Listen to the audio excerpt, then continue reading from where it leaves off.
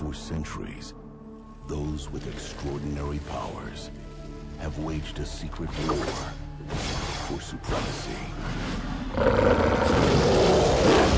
Now, in between good and evil, stands a warrior. Her name's Elektra. Like the tragedy. Your parents must have had a sense of humor. Not really. She has mastered the skills of the past.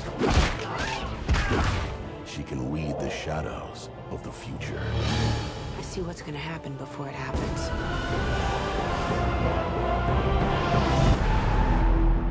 She's my friend. She doesn't really know who you are. It's about her, isn't it? She was a prodigy from five years old.